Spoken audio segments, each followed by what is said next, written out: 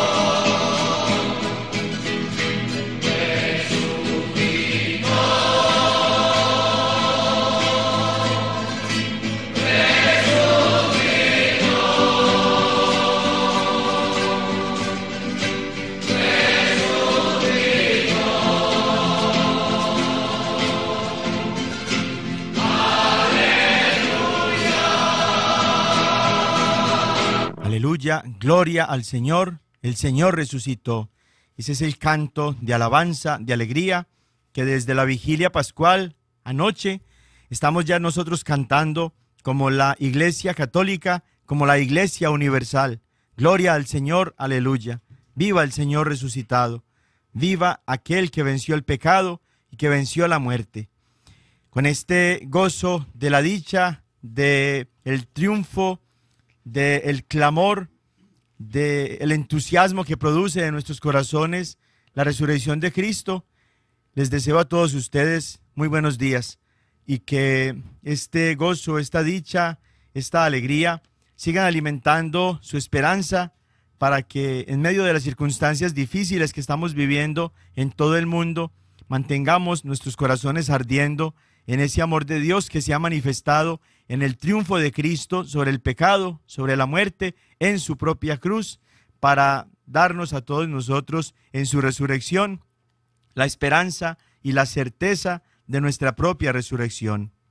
Voy a tomar como oración para este domingo tan especial, el domingo más especial para todos nosotros como cristianos católicos, que es el domingo de la resurrección. Voy a tomar la oración que se encuentra como secuencia en las lecturas del día de hoy.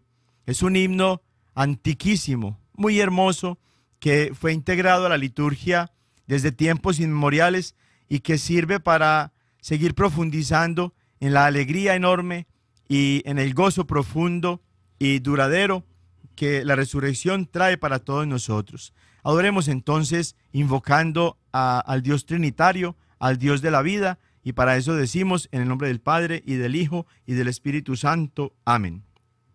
Ofrezcan los cristianos ofrendas de alabanza a gloria de la víctima propicia de la Pascua, Cordero sin pecado que a las ovejas salva, a Dios y a los culpables unió con nueva alianza. Lucharon vida y muerte en singular batalla, y muerto el que es la vida, triunfante se levanta. ¿Qué has visto de camino, María, en la mañana? A mi Señor glorioso, la tumba abandonada, los ángeles testigos, sudarios y mortaja, resucitó de veras mi amor y mi esperanza. Vengan a Galilea, allí el Señor aguarda, allí verán los suyos la gloria de la Pascua, primicia de los muertos, sabemos por tu gracia que estás resucitado, la muerte en ti no manda. Rey vencedor, apiádate de la miseria humana y da a tus fieles parte en tu victoria santa. Amén. En el nombre del Padre y del Hijo y del Espíritu Santo. Amén. Vamos a seguir meditando la palabra de Dios en este domingo de resurrección y para eso entonces vamos a centrarnos ahora en el Evangelio que la Iglesia Católica, la Iglesia Universal, la Iglesia Cristiana verdadera, con el gozo de su esposo, de su cabeza ya resucitado, proclama en este día. Y es Juan capítulo 20, versículos del 1 al 9. El primer día después del sábado, estando todavía oscuro, fue María Magdalena al sepulcro y vio removida la piedra que lo cerraba. Echó a correr, llegó a la casa donde estaban Simón Pedro y el otro discípulo, a quien Jesús amaba, y les dijo, se han llevado del sepulcro al Señor y no sabemos dónde lo han puesto. Salieron Pedro y el otro discípulo camino del sepulcro. Los dos iban corriendo juntos, pero el otro discípulo corrió más a prisa que Pedro y llegó primero al sepulcro. E inclinándose, miró los lienzos puestos en el suelo, pero no entró. En eso llegó también Simón Pedro, que lo venía siguiendo, y entró en el sepulcro. Contempló los lienzos puestos en el suelo y el sudario que había estado sobre la cabeza de Jesús, puesto no con los lienzos en el suelo, sino doblado en sitio aparte. Entonces entró también el otro discípulo, el que había llegado primero al sepulcro, vio y creyó, porque hasta entonces no habían entendido las escrituras según las cuales Jesús debía resucitar de entre los muertos. Palabra del Señor. Gloria a ti, Señor Jesús. En los relatos de los evangelios de Mateo, Marcos, Lucas y Juan, se nos presenta el relato de la resurrección.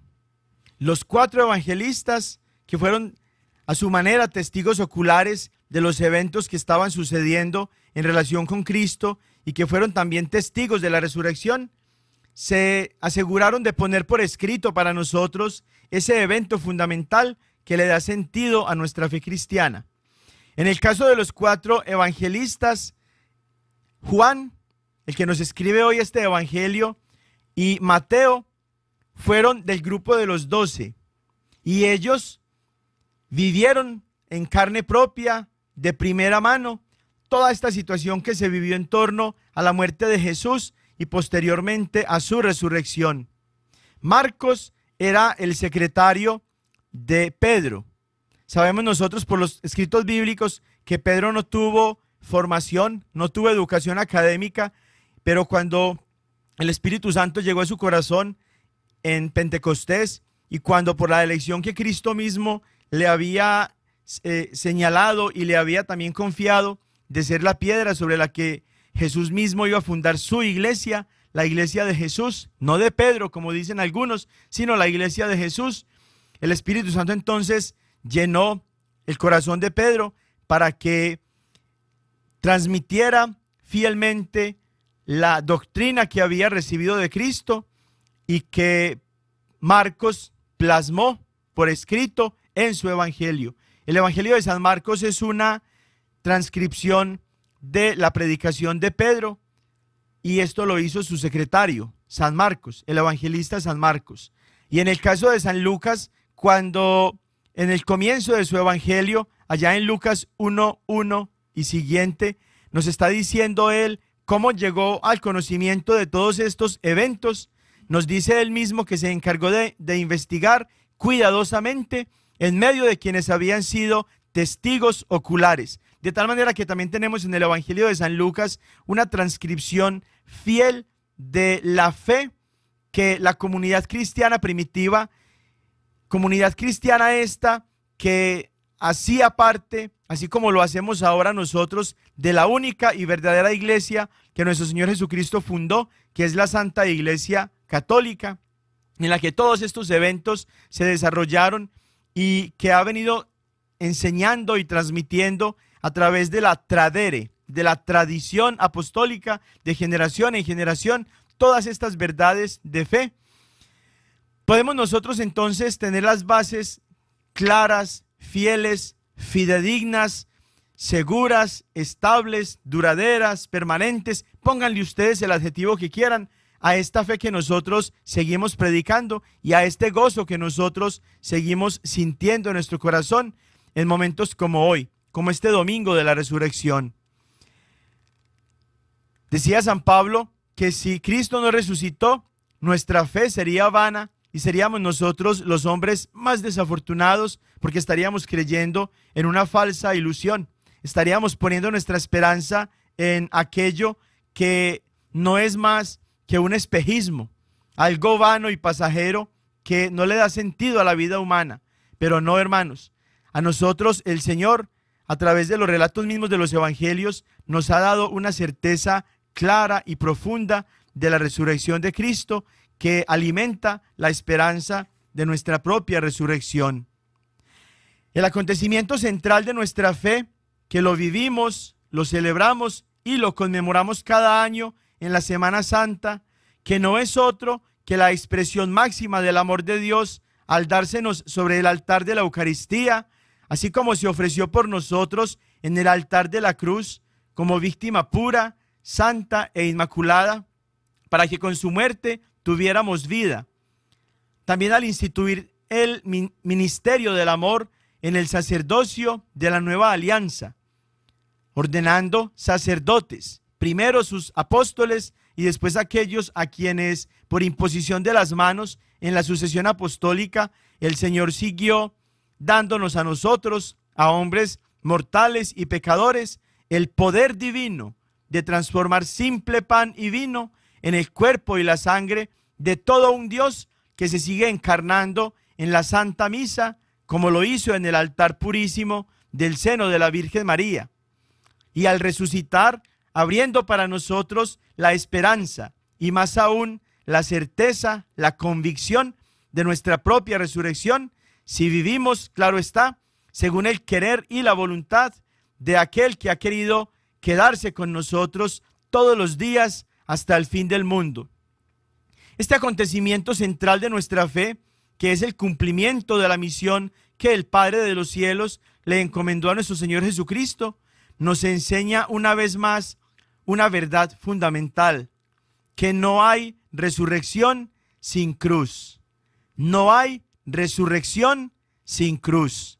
No podemos ser glorificados con Cristo si antes no tomamos nuestra cruz y la cargamos hasta el final, y si no morimos a nosotros mismos. El único camino para la gloria de la resurrección es entonces la cruz. Así como los cuatro evangelios relatan el hecho de la resurrección, así también cada evangelista se aseguró de poner por escrito para las generaciones de cristianos que íbamos a llegar más adelante el suceso de la, de la crucifixión de Jesús. La palabra evangelio significa buena nueva, buena noticia, buen anuncio. Por tanto, esta verdad fundamental de que no hay resurrección sin cruz está en el centro, en, el corazón del Evangelio, de la buena nueva, de la buena noticia, del buen anuncio. La muerte y la resurrección son las dos caras, podríamos decir, de una misma moneda.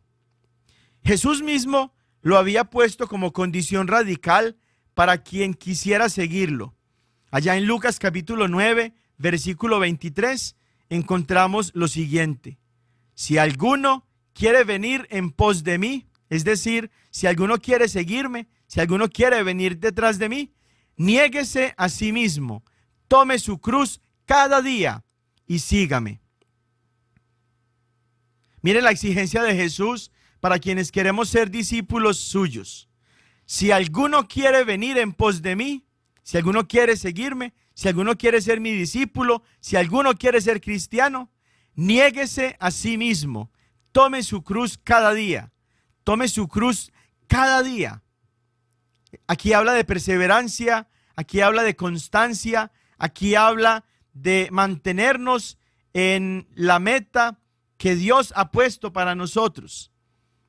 Aquí nos habla el Señor de mantenernos unidos a Él a través de la cruz, de no dejar la cruz en el camino, así como Él no la dejó en el camino, sino llevarla hasta el final.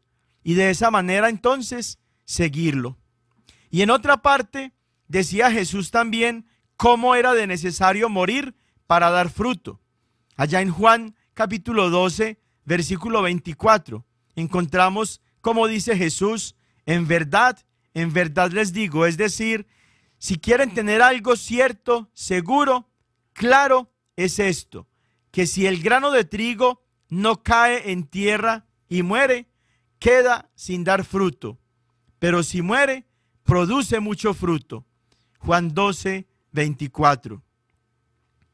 No podemos aspirar a la gloria, al cielo, al paraíso, a la resurrección, a la glorificación con Cristo, a la vida eterna, a la salvación, si antes no pasamos por la cruz, si antes al tomar nuestra cruz no caminamos con ella y perseveramos con ella todos los días de nuestra vida, y a través de esa misma cruz y con esa misma cruz morimos a nosotros mismos para llegar entonces, ahora sí, a la resurrección.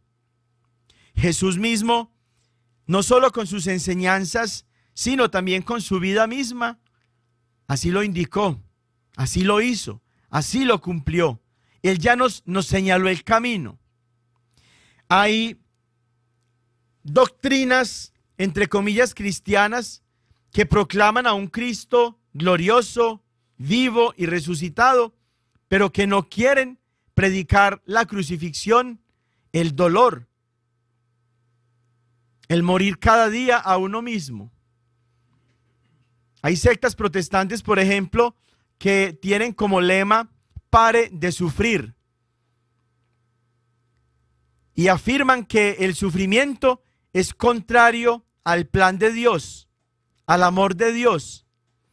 Y esa afirmación es totalmente contraria al Evangelio, al verdadero cristianismo que Cristo vino a enseñarnos y que instituyó en la Santa Iglesia Católica, de la que tú y yo hacemos parte, y cuyo signo fundamental es el crucifijo.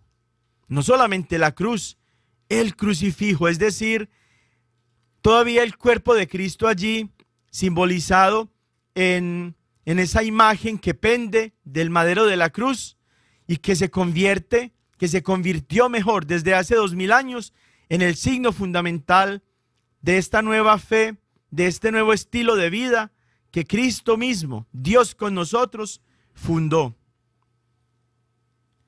Así como está de claro esta enseñanza en las palabras y en la vida misma de Cristo, esta verdad, esta enseñanza de que no puede haber glorificación, ni resurrección, ni vida eterna, ni salvación sin cruz. De la misma manera, en el apóstol San Pablo está muy clara. Y el apóstol San Pablo en sus cartas nos muestra y nos demuestra la centralidad de la cruz de Cristo, tanto en su doctrina como en las exigencias morales que la vida cristiana nos impone a quienes somos discípulos suyos.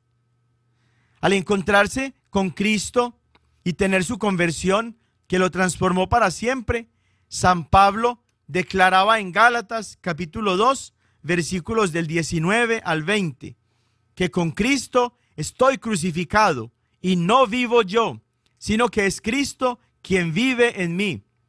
La vida que vivo al presente en la carne, la vivo en la fe del Hijo de Dios que me amó y se entregó a sí mismo por mí. En medio del conflicto con los corintios y sus ataques contra el apostolado de Pablo, él expresa, pues yo, hermanos, cuando fui a, vosotros, no con el prestigio de la palabra o de la sabiduría, a anunciaros el misterio de Dios, pues no quise saber entre vosotros sino a Jesucristo y este crucificado. San Pablo no se quedó solamente con lo tierno, lo romántico, lo especial, los sentimientos bonitos, ay, el descansar en el espíritu, el hablar en lenguas, el profetizar, el sentir que, que podemos hacer profecías cuando eh, sentimos al Espíritu Santo. Ay, eso tan bonito. No, San Pablo, verdadero cristiano, no separó la vida cristiana de la crucifixión, de la cruz, del sacrificio, de la muerte, del negarnos a nosotros mismos, del participar en los dolores de Cristo a través del cargar cada día nuestra propia cruz. Ese pasaje de, pues yo hermanos, cuando fui a vosotros, no fui con el prestigio de la palabra o de la sabiduría a anunciaros el misterio de Dios, pues no quise saber entre, entre vosotros sino a Jesucristo y este crucificado. Lo encontramos en primera carta a los Corintios capítulo 2 versículos del 1 al 11. Así también en la carta a los Colosenses, el mismo San Pablo dice, cuando estaban muertos en sus pecados y en la incircuncisión de su carne, Dios los hizo vivir con Cristo, nos perdonó todos nuestros pecados, habiendo cancelado el cargo de nuestro endeudamiento legal que había contra nosotros y que nos condenaba. Él se lo llevó clavándolo en la cruz y después de desarmar los poderes y las autoridades, hizo un espectáculo público con ellos, triunfando sobre ellos en la cruz. Cristo venció en la cruz el pecado, la muerte el mal, venció al demonio en la cruz. Hay hermanos protestantes que odian profundamente la cruz. Cuando ven una cruz, casi hacen como la, la protagonista de la película del exorcista, que se tira al piso y se revuelca y le sale espuma por la boca, porque odian profundamente la cruz, porque consideran que la cruz es signo de muerte, es signo de, de derrota. Inclusive algunos dicen, ustedes los, los católicos, ¿por qué se ponen una cruz en sus pechos? Y cuando uno les explica por qué, dicen, y si su mamá muriera porque le dieron un balazo, entonces usted se, colgaría un, eh, una imagen de un revólver, de un arma en, en su pecho. O si su papá hubiera sido asesinado con un cuchillo, ustedes se colgarían la imagen de un cuchillo sobre su pecho. Ese pensamiento protestante, anticristiano, apóstata, es un pensamiento que viene no de Dios y no de la fe cristiana, y por eso es propio de las sectas protestantes, porque ellos piensan que la cruz es el instrumento con el cual el demonio venció a Dios. Ellos piensan que la cruz es la mayor derrota de Cristo, que el demonio derrotó a Cristo al llevar las, circunstancias como se produjeron a que Cristo muriera en la cruz. Pero lo que nos está enseñando San Pablo, que se encontró con Cristo mismo y que vivió a plenitud la vida cristiana católica, que tú y yo como cristianos católicos vivimos y practicamos plenamente, ese mismo Pablo está diciendo no que la cruz es signo de derrota para Cristo, sino que es signo de victoria para Cristo. San Pablo está siendo muy claro en afirmar cómo en la cruz de Cristo es donde se produjo la mayor victoria de Cristo, definitiva y fundamental, eterna, sobre el pecado, sobre el mal, sobre la muerte, sobre el dolor, sobre el demonio, sobre los demonios, sobre Satanás, triunfando sobre ellos en la cruz. No, no, no, no, no Satanás, no el demonio. Miren otra vez este pasaje. Cuando estaban muertos en sus pecados y en la incircuncisión de su carne, Dios los hizo vivir con Cristo. Les perdonó, perdón, nos perdonó todos nuestros pecados, habiendo cancelado el cargo de nuestro endeudamiento legal que había contra nosotros y nos condenaba. Él se lo ha llevado clavándolo en la cruz. Ese Él es Cristo. Él, Cristo, se lo ha llevado clavándolo en la cruz. Y después de desarmar los poderes y las autoridades, hizo un espectáculo público de ellos, triunfando sobre ellos en la cruz. Hermano protestante, si me estás escuchando por ahí, que Dios permita que sí, no te engañes. La cruz no es señal de muerte, la cruz no es señal de derrota, como si el demonio hubiera vencido sobre Cristo. No, la cruz es señal de la victoria de Cristo sobre el demonio, sobre Satanás, sobre el pecado, sobre el mal, sobre la muerte, sobre la debilidad humana, sobre nuestra mortalidad. La cruz es el signo fundamental del cristiano. La única razón por la cual la resurrección de Cristo fue posible fue por la resurrección. No hay manera de evitarlo. Para que Cristo resucitara de entre los muertos, primero necesitaba morir. Y como no podía morir, porque Él, es Dios y Dios no, no, no puede morir, es por eso que Dios mismo decidió encarnarse en el seno purísimo de la Santísima Virgen María para participar de nuestra mortalidad, de nuestra naturaleza humana, que es mortal y limitada, y para que a través de esa naturaleza limitada y mortal pudiera derrotar en su propia carne al demonio, al mal y a la muerte. Lo que Jesús hizo en la cruz rompió el poder del pecado que nos esclavizaba. El sufrimiento del Viernes Santo con la crucifixión y la muerte de Cristo es el comienzo de la celebración cristiana de la victoria de Cristo sobre el mal. La cruz es un lugar de victoria para los fieles cristianos incluso en medio de la, de, la debilidad y los ataques de Satanás. Miren cómo lo dice de hermoso San Pablo en la segunda carta a los Corintios, capítulo 12, versículos del 9 al 10. Por tanto, con sumo gusto seguiré gloriándome sobre todo en mis flaquezas, es decir, en mi debilidad, para que habite en mí la fuerza de Cristo. Por eso me complazco en mis flaquezas, en mi debilidad, en las injurias, en las necesidades, en las persecuciones y las angustias sufridas por Cristo. Pues cuando soy débil, es entonces cuando soy fuerte.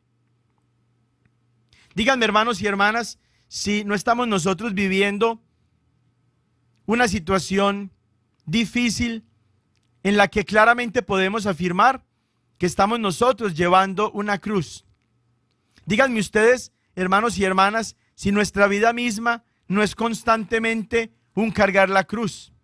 Es inevitable que un ser humano sufra, porque como somos seres limitados, como somos seres pecadores, como somos seres débiles, como estamos sometidos a tantas circunstancias naturales, culturales, históricas, sociales, políticas, económicas, etcétera, como todo lo que pasa en el mundo nos afecta, como la relación y la convivencia con las otras personas que están en el mundo, en nuestra propia familia, en el trabajo, en la sociedad, también nos afectan.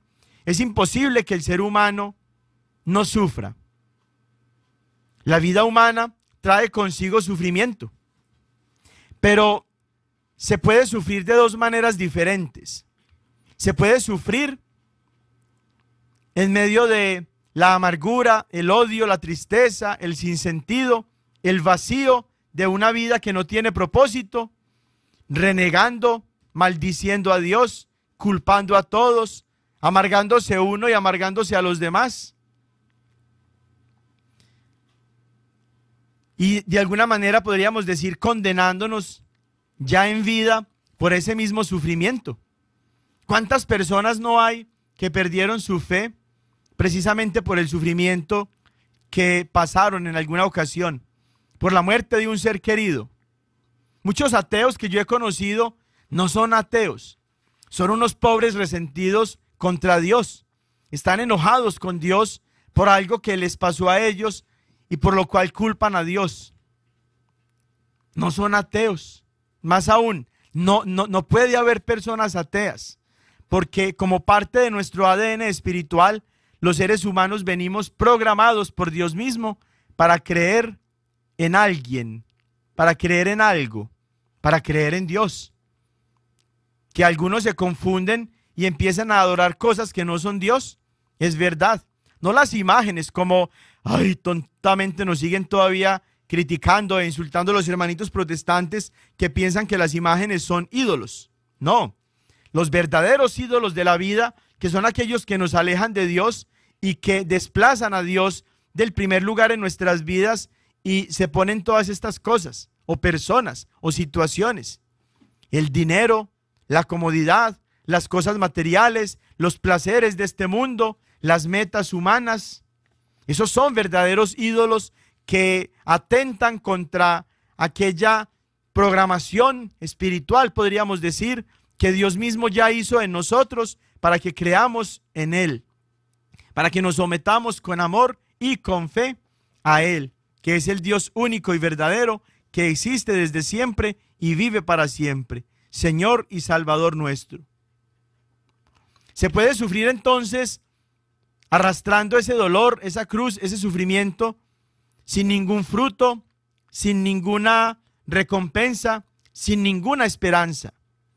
O se puede sufrir como lo hizo Cristo, abrazando su cruz, tomando su cruz con mucho amor, teniendo claro por qué estaba Cristo cargando esa cruz, quiénes se iban a, beneficiar de esa cruz, tú y yo, la humanidad entera, y movido por ese amor, como Cristo, poder cada uno de nosotros sufrir lo que la vida trae consigo como sufrimiento, participando nosotros en los sufrimientos de Cristo, sin renegar, sin quejarnos, sin lamentar, sin culpar a nadie, sin amargarnos nosotros y sin amargarle la vida a los demás.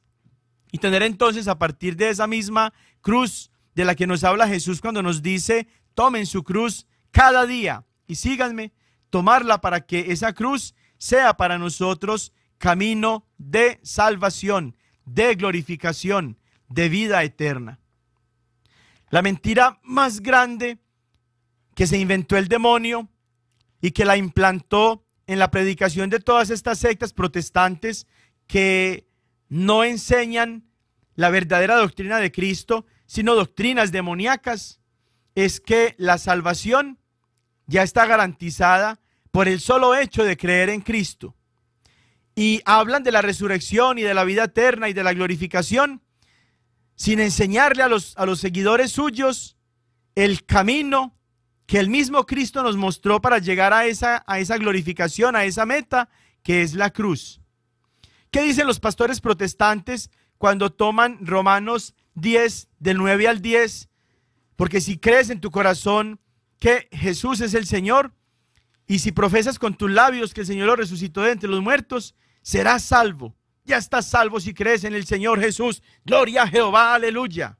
Hermanos, eso es un cristianismo falsificado, porque no está incluyendo la cruz que es necesaria para la salvación, tal y como nos la enseñó el mismo Jesús, tal y como el mismo Jesús nos lo mostró con su propia vida al ofrecerse por nosotros en la cruz. No es cierto, hermanos, que podamos nosotros alcanzar la salvación simplemente porque ya profesamos con nuestros labios que Jesús es Señor y lo creemos en el corazón. Falso. Y el demonio lo sabe. El demonio hace lo mismo y no está salvado. Los miles de demonios que, que eran ángeles y que se rebelaron contra Dios, que protestaron contra Dios, hacían lo mismo.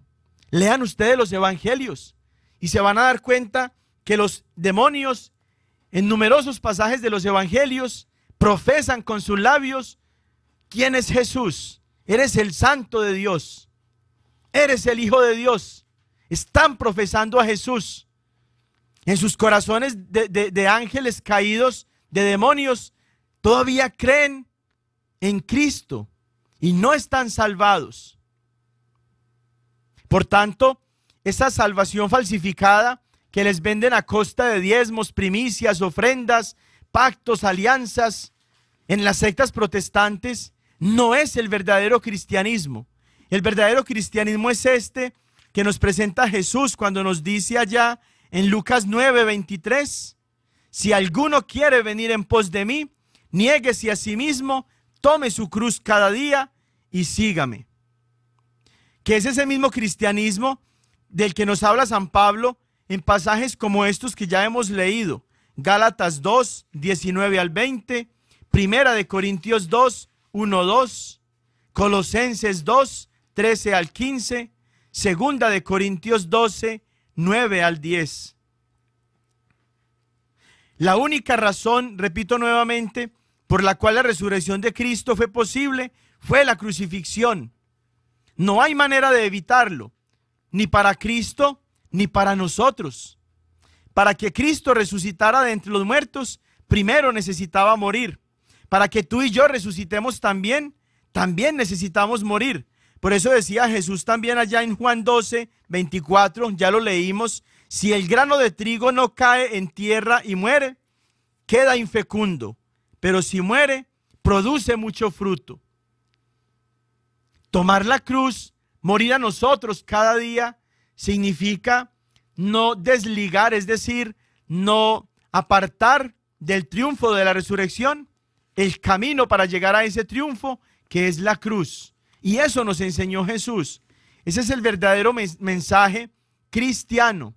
Esa es la, verdad- la verdadera doctrina de Cristo. Así lo enseñó Cristo. Así lo aprendieron y lo comunicaron por la tradere, por la tradición, los apóstoles, San Pablo, San Pedro, San Juan, San Judas, Santiago, inclusive aquellos que no escribieron ninguna carta, ningún libro, con su misma tradición apostólica, con su misma tradición oral, es decir, de, viva voz, transmitieron esa misma realidad. Eso es lo que tú y yo, amado hermano, amada hermana, necesitamos creer y neces- necesitamos vivir. Dios ciertamente podría haber elegido cualquier periodo de tiempo y cualquier forma de lograr para nosotros la salvación, pero en su infinita misericordia y en su entrañable sabiduría, nuestro Dios misericordioso eligió como forma de salvarnos la cruz de Cristo. Y ese mismo camino de la cruz que llevó a Jesús por la obediencia, como le encontramos en pasajes como Filipenses capítulo 2, es el, es el- es el mismo camino que nos va a llevar a ti y a mí a esa misma meta de la resurrección. Como los cuatro evangelios lo relatan, Dios eligió dar su vida por nuestra salvación al morir en la cruz. Y ese mismo camino lo ha señalado para ti y para mí.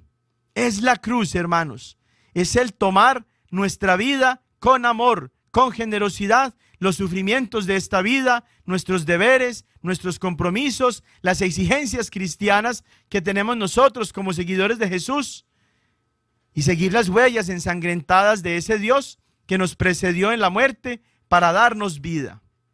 ¿Cuáles son esas exigencias cristianas que tú y yo tenemos como discípulos de Cristo y que asumimos al cargar nuestra cruz y seguirlo? Perdonar las ofensas, practicar la caridad, tratar bien a todos, disponer de nuestros bienes, de nuestro tiempo, de nuestro trabajo, de nuestros conocimientos para la mayor gloria de Dios y para el bien de todas las personas a las que nosotros podemos beneficiar. Tener una relación personal, íntima con nuestro Señor Jesucristo a través de la oración, de los sacramentos, de manera especial de la Eucaristía, a través de el descubrir el rostro sufriente de Cristo en el hermano necesitado, a través de una vida generosa, compartiendo lo que Dios nos da, a través del testimonio de vida con las buenas obras y las buenas acciones, que son aquellas cosas que sirven para que nosotros seamos luz del mundo, tal y como lo encontramos allá en Mateo capítulo 5, versículos del 14 al 16, para que los hombres glorifiquen al Padre de los cielos. Esas son las exigencias cristianas que tú y yo, hermano y hermana, necesitamos tomar cada día cuando cargamos nuestra cruz y con amor, no con odio ni con resentimiento, sino con amor, con generosidad, seguimos a Cristo. Vamos a meditar en una canción preciosísima que pone para nuestra fe el mayor regalo del amor de Dios que celebramos en esta Semana Santa, que es el ofrecimiento de su Hijo Jesús por nosotros. No solamente en la, en- en la- en la cruz, en el sacrificio de la cruz, sino también en el altar dentro de la Santa Misa, en la Santa Eucaristía. Doce hombres y el maestro, doce panes y la vida, doce copas y la alianza se mezclaba aquel día donde Jesús lavándoles los pies les enseñaba lo que es la vida donde Jesús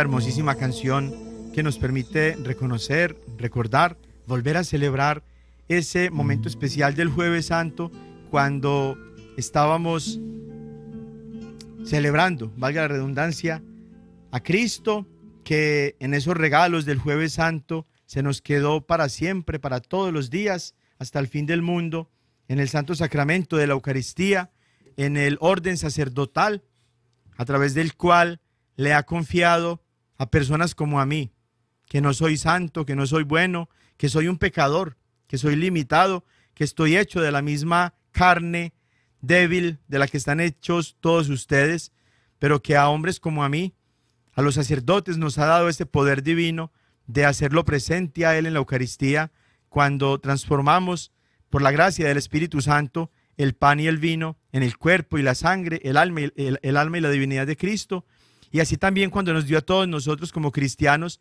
el mandamiento del amor, simbolizado en ese lavatorio de los pies, para indicarnos que nosotros hagamos lo que Él mismo ha hecho con nosotros. Seguimos entonces meditando en la esencia de nuestra fe cristiana, en esta verdad fundamental del verdadero cristianismo. No puede haber resurrección sin la cruz. No podemos llegar a la salvación, a la vida eterna, al paraíso, a la glorificación, a la resurrección, si antes no tomamos la cruz, la cargamos cada día y de esa forma seguimos al Señor. El demonio ha hecho estragos en la fe de muchas personas, de millones de personas en el mundo, a través de un cristianismo maquillado y falsificado que no es verdaderamente el que Cristo vino a traernos, a dejarnos y el cual Cristo mismo nos mandó seguir y practicar. Los primeros seguidores de Jesús, los primeros cristianos, la Santísima Virgen María, los apóstoles, entendieron plenamente lo que significaba aquello que Jesús nos estaba enseñando con sus palabras, con su doctrina, con sus acciones, con sus milagros, con sus señales, con su vida misma, con su muerte, también con su resurrección. Eso es lo que la primitiva comunidad cristiana predicó, enseñó. Ese fue el querigma, el primer anuncio del Evangelio que comenzando por Pedro, que era el Papa, y después de él Pablo, la, la Virgen María y todos los demás apóstoles y los otros discípulos predicaron y enseñaron. Y cuando las personas que escuchaban a todos estos evangelizadores católicos, cristianos, en ese primer siglo de la iglesia, segundo, tercer siglo, y de ahí en adelante hasta el siglo XXI en el que nosotros nos encontramos, mantenemos esa misma enseñanza y las personas de todos los tiempos y lugares y culturas, no importa la lengua en la que se le predique, recibe del verdadero cristianismo que solamente está presente en la Santa Iglesia Católica esas mismas enseñanzas de Cristo, de la Virgen María y de los apóstoles. Y pensemos por un momento, hermanos, cuando sale este grupo de cristianos, los primeros cristianos católicos, que estaban liderados por Pedro y que estaban movidos en su fe por la por el testimonio de, de, del amor y por el anuncio mismo que la Santísima Virgen María estaba dando en esa comunidad primitiva, cuando salen ellos a predicar y cuando hablan de la cruz, imagínense cómo caería de pesado ese mensaje para quienes en ese tiempo todavía sabían y entendían lo que la cruz significaba, porque veían morir constantemente a delincuentes, a criminales, condenados a muerte de esa misma forma por la cruz. ¿Cómo sería de difícil para ellos entonces aceptar esa nueva fe que se estaba predicando? Independiente de que fueran judíos o gentiles, paganos, entendían ellos lo que significaba el mensaje de la cruz. Y eso, unido también a la dureza con la que Jesús habla de sí mismo en la Eucaristía, hizo que muchos de sus discípulos salieran huyendo. Así lo encontramos en Juan capítulo 6, cuando leemos de, del versículo 59 en adelante, para descubrir cómo muchos estaban eh, murmurando, criticando, oponiéndose a lo que Jesús mismo estaba enseñando por la dureza de las palabras.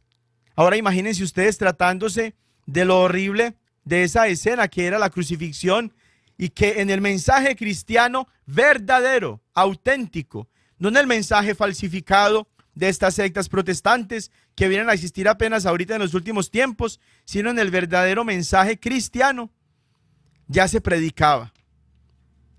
Después de la resurrección y de la ascensión de Cristo, cuando esa iglesia primitiva predica entonces el querigma, el primer anuncio del Evangelio, no desligan, no separan, no reducen, no eliminan la necesidad de la cruz en la vida del cristiano. Por el contrario, así como Pablo, todos aquellos que enseñaban la verdadera fe cristiana, enseñaban esa fe uniéndola a la figura de Cristo crucificado.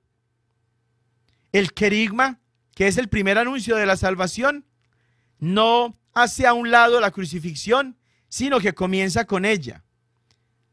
En el mensaje de Pedro, cuando después de recibir el Espíritu Santo allá en Hechos capítulo 2, está dando su primer mensaje del querigma, el primer mensaje del anuncio del Evangelio que está en labios de Pedro, tal y como lo encontramos allá en Hechos capítulo 2. Pedro sintetiza toda la vida cristiana en lo siguiente. Cristo ha muerto en la cruz. Cristo fue crucificado, pero Cristo ha resucitado. Cristo vendrá de nuevo. Y los cristianos verdaderos no nos espantamos ante la venida de Cristo, sino que en la Santa Misa, todos los días, incesantemente, nosotros estamos pidiéndole al Señor que venga ya. Maranatá, ven Señor Jesús. Y las sectas protestantes se valen de la venida de Cristo para sembrar miedo y terror y para que la gente llene sus changarritos para beneficiarse y enriquecerse con esa pobre gente ignorante y llena de miedo, estos pastores protestantes. Pero la iglesia verdadera, la iglesia cristiana verdadera, pide inclusive la llegada de Cristo, la venida de Cristo, porque es la restauración total de la obra de Dios. Tal y como se predica ahorita el cristianismo en muchas personas, en muchos grupos protestantes, pero tristemente también en algunos ministerios dentro de la iglesia, dentro de la iglesia católica, se ha llevado a través de la predicación de esta manera, de este cristianismo moderno, a un tipo de cristianismo que hace a un lado la crucifixión, que elimina la necesidad de la cruz para llegar a la salvación y se quedan en un tipo de evangelización y de vida cristiana para sentirse bien, para sentir bonito. Y eso no es el cristianismo. Eso es un mensaje demoníaco que contradice las enseñanzas de Cristo en relación con el verdadero cristianismo. El cristianismo implica la cruz. No puede haber cristiano sin cruz. No puede haber resurrección sin cruz. Mucha gente piensa que la religión sirve para hacernos sentir bien, para sentir bonito, para sentirnos cómodos. Hay hermanos y hermanas que están cambiando de, iglesia constantemente, buscando donde les predican lo que ellos quieren escuchar para sentirse bonito. Muchos hombres y mujeres dejaron la iglesia de Cristo y se convirtieron en, en anticristos y en apóstatas para meterse a grupitos en los que la predicación que les ofrecen les hace sentir bien, cómodos. Y eso no es el verdadero cristianismo. Rechazaron la fe cristiana verdadera por irse a escuchar pastores que les enseñan lo que ellos quieren escuchar para poder sentirse bien. Y eso no es el cristianismo. El Jesús crucificado es una imagen, un signo que no es tan atractivo para muchos en este tiempo. Y lamentablemente hay ministerios dentro de la Iglesia Católica que se han dejado contaminar por esta falsificación del cristianismo.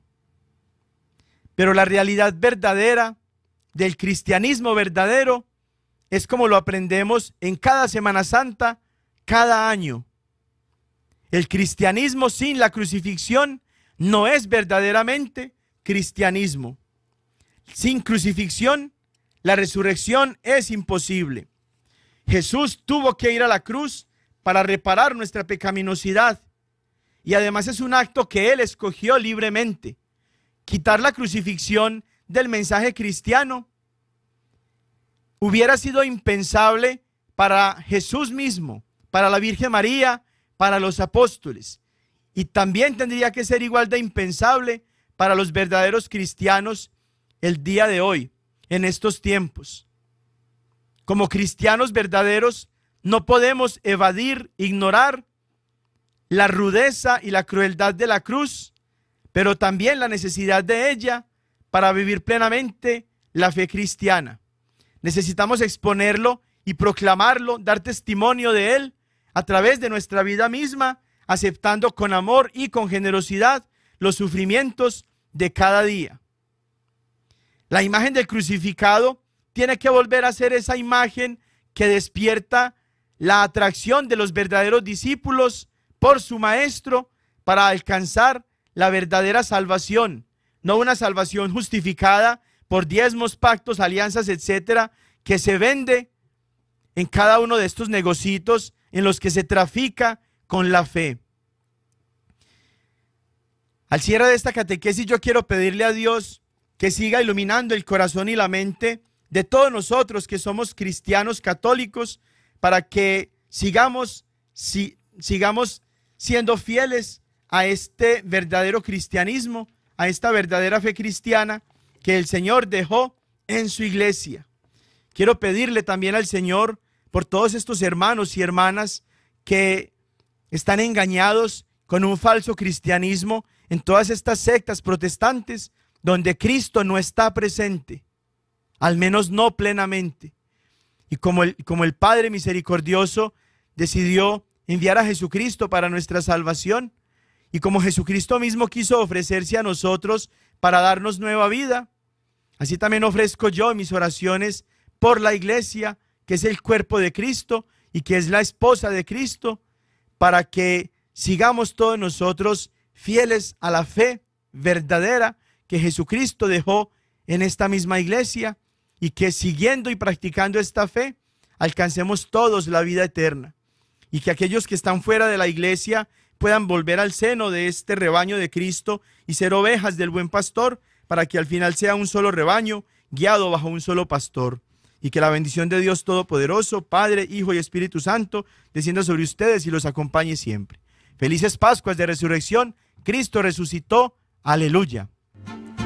Ven con nosotros al caminar, Santa María, ven. La diócesis de Knoxville y la parroquia de Santo Tomás Apóstol de Lenore City les agradecemos por habernos acompañado en Creciendo Juntos en nuestra Fe Católica y los invitamos a que nos escuchen la próxima semana por esta misma estación y a la misma hora para profundizar en lo que significa ser un católico conocedor de su fe. Hasta pronto y que Dios los bendiga.